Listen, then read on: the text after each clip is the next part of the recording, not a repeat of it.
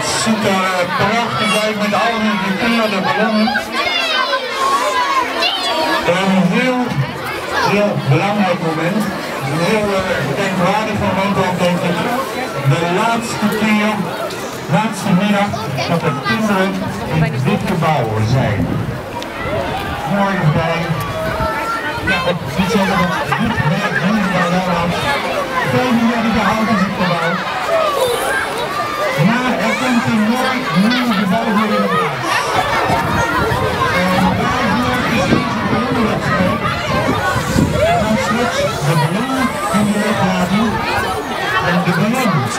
van het kind die gisteren lukte ja, zie nog.